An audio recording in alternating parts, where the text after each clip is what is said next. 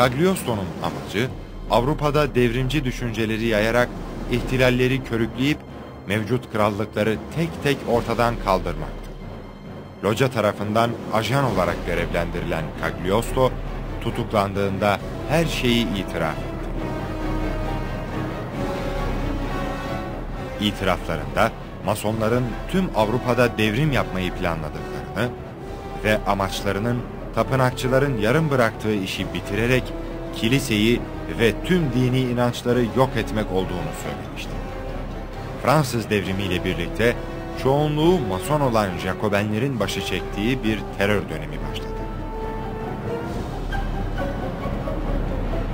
Başta din adamları ve kral yanlıları olmak üzere on binlerce insan giyotine gönderildi.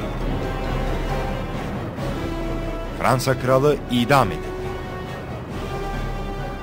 Kral giyotinde idam edilirken kalabalıktan bir ses yükseldi. Molay, intikamın alındı.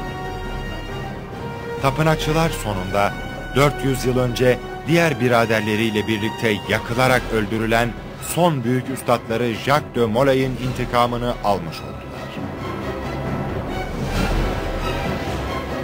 Ama bu ne ilkti ne de son olacak.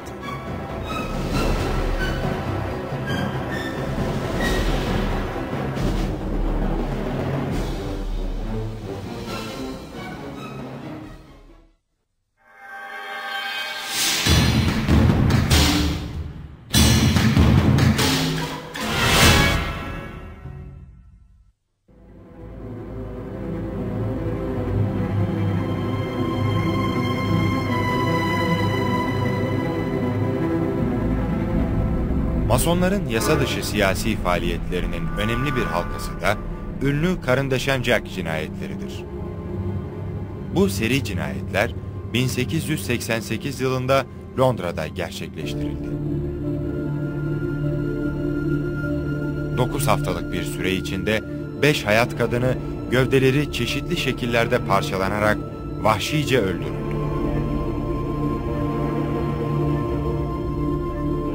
Katil hiçbir zaman bulunamadı.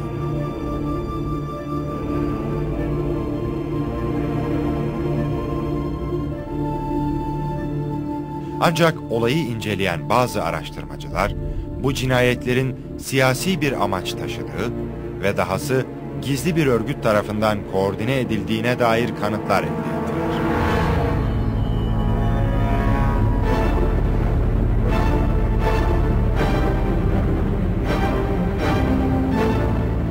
Yazar Stephen Knight bu kanıtları Karın Deşen Jack, Son Çözüm adlı kitabında açıkladı.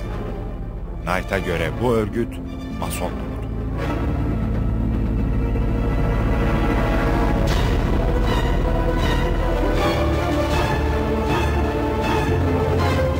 Bu görüşü gündeme taşıyan son gelişme ise 2001 yılı Hollywood yapımı bir film.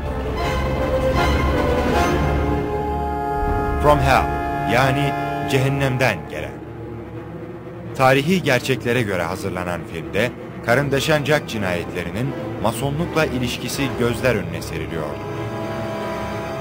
Filmde açıklandığı gibi bu cinayetlerin gerçekleştiği sıralarda İngiliz monarşisi büyük bir skandalın eşiğindeydi.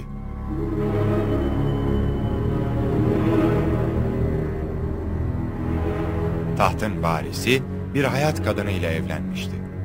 Bu olayın duyulması hem kraliyet hem de masonlar için bir tehdit unsuru olurdu.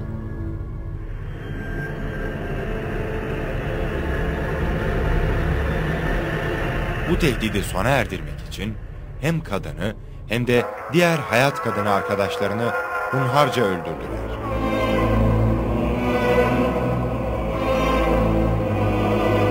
Cinayetlerden sorumlu kişilerin hepsi birer masondu. Bu nedenle her şey örtbas edildi.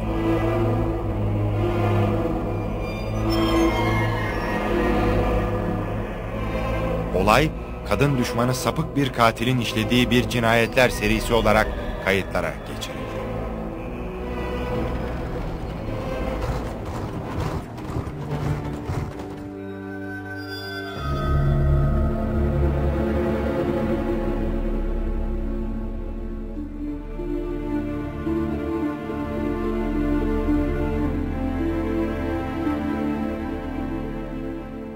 From Hell filminde o dönemin masonlarının gizli bir toplantısı böyle convention.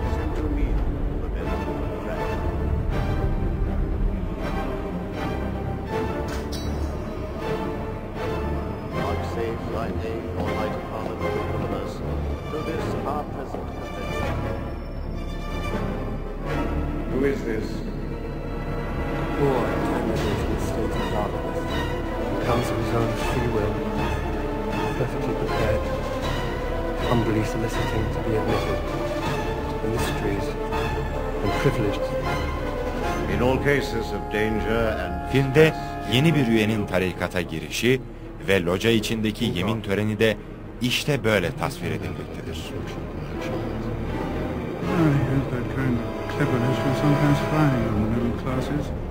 A cheap sort of intelligence, but effective, nevertheless.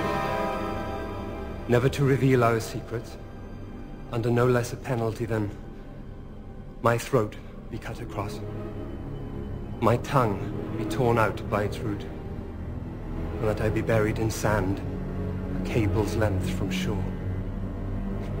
Karındeşen Jack cinayetleri, masonların devlet kadrolarında nedenli etkin bir güce sahip olduklarının önemli göstergelerinden biridir.